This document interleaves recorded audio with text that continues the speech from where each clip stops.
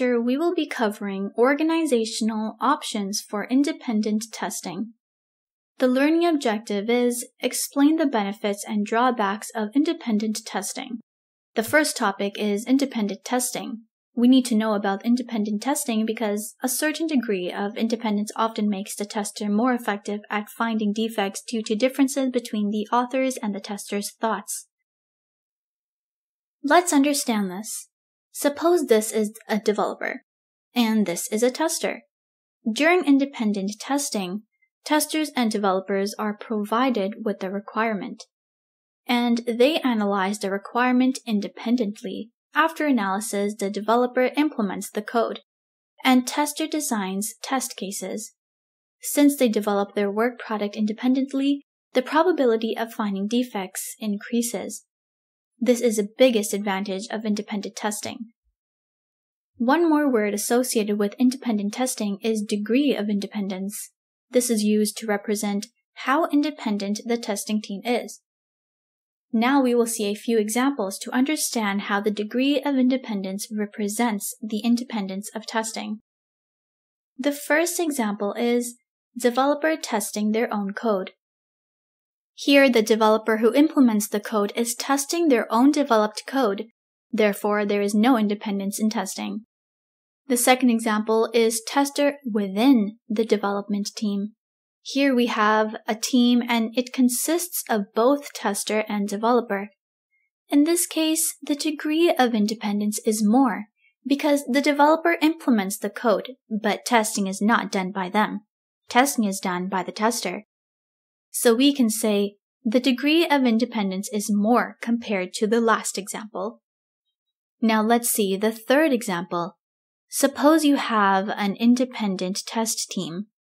This test team is not part of the development team, but the test team is in the same organization and under the same management. In this case, again the degree of independence is more compared to the last example, as the test team is separated from the development team.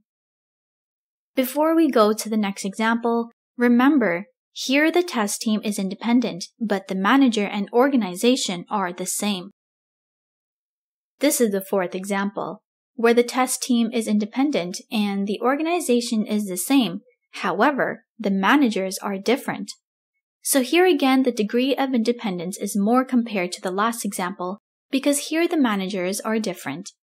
This is the last example where the development team and testing team are in different organizations. In all the previous examples, both the teams were in the same organization, and here they are in a different organization, so it is very obvious that the degree of independence is more here. Now let's see all the examples of degree of independence once again for revision. The first example is developer testing their own code, Second, independent tester within development team. Third, independent tester in the same organization under the same manager. Fourth, independent tester in the same organization but different manager.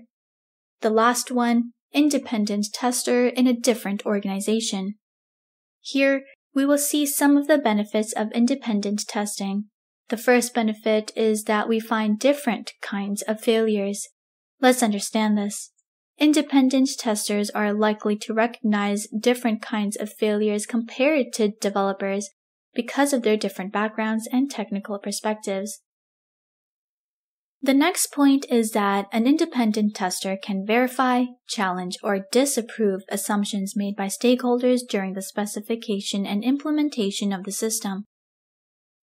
The last point is independent testers of a vendor can report in an upright and objective manner about the system under test without the pressure of the company that hired them.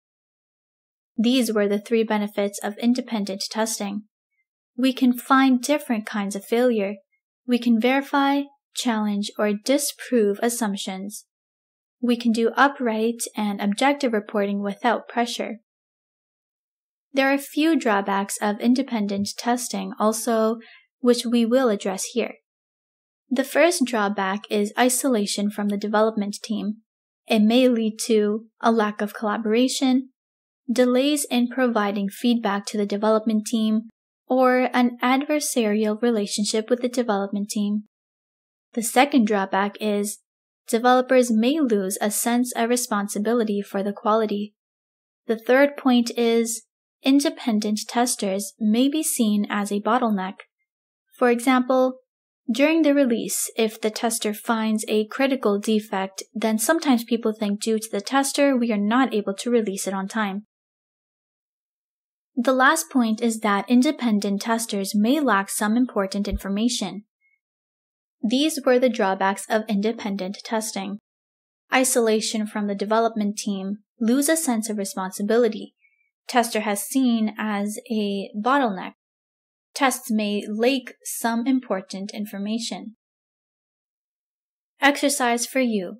Arrange them in the order of degree of independence. Make sure the highest degree is on the top. The solution is attached to the lecture as a resource.